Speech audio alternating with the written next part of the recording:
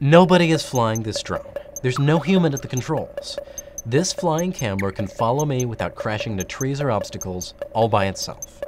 It maps out the world using a set of cameras, it predicts where I'll go, and it keeps me in the shot. It's called the Skydio 2, and it's one of the most amazing gadgets I've ever flown?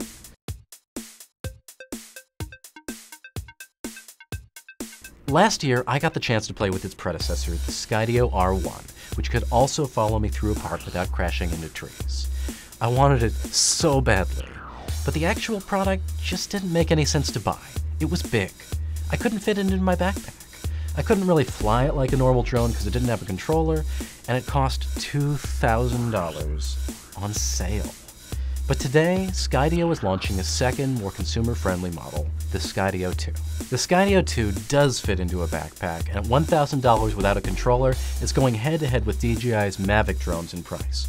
Only it does have an optional controller, one that lets you take the Skydio out to 3 kilometers instead of being tied to your phone's Wi-Fi, and one that Skydio says a 3-year-old could learn to fly. Here's how easy. I'm just pushing forward on the right analog stick, and it's dodging these trees by itself. You can do the same thing backwards too, since it's got omnidirectional sensing. But I'd be lying if I said this rebranded $150 Parrot Anafi controller is the thing that excites me about this drone, or even the 40% battery life increase to 23 minutes, or the 50% decrease in size and weight. It's that Skydio's second gen flying system is even more impressive than the one that blew me away last year.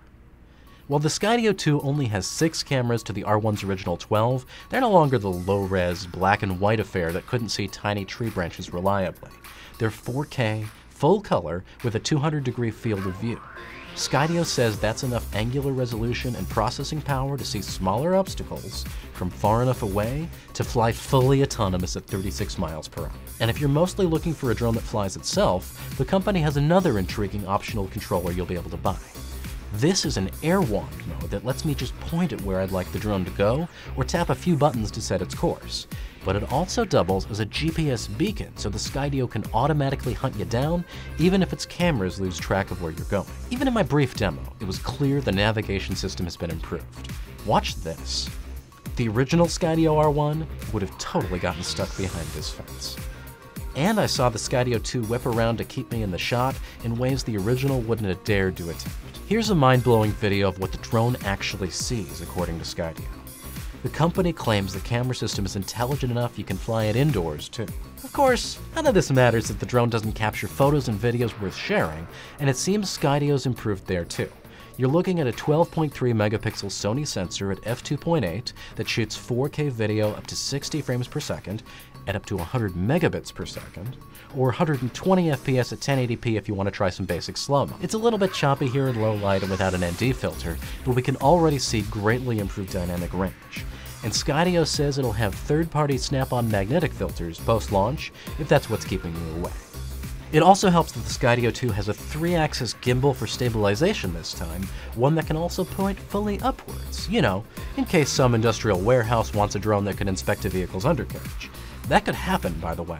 While the consumer version of Skydio 2 is programmed to keep a 1 meter protective bubble around itself at all times, they're letting partners bring that down to 50 centimeters to slowly squeeze into human-sized spaces, and the company says it'll be announcing some partnerships down the road. But here's something else fascinating about Skydio.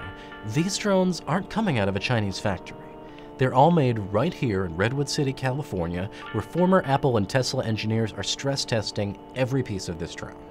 Co-founder Adam Bry says every single Skydio R1 was built and shipped right here on this miniature assembly line, and the Skydio 2 will be the same to start.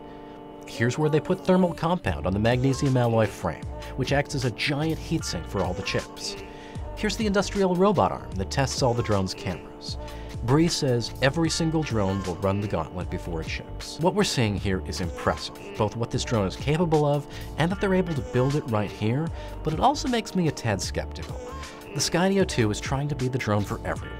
For people who'd never dream of flying a drone because they're afraid of crashing it, for aerial cinematographers, and yet it's just this tiny bay of stations producing this craft for theoretically everyone who'd want it. So for now, you're gonna have to put some money down. Skydio says these will be available in limited quantities and it's asking for a $100 deposit on your pre-order. I'm impressed enough that I'd seriously think about it if I were an early adopter dying to show this off to my friends. But I could have said that about the $2,500 Skydio R1 as well, and I didn't actually end up buying that. But that's me spending an hour with the Skydio 2 in a park. We're going to put this drone through its paces later this year and tell you if it's really worth buying. Thank you for watching our video with a flying robot. If you liked that, check out our video with a walking robot dog named Spot. Also, this is me falling off a scooter. Goodbye.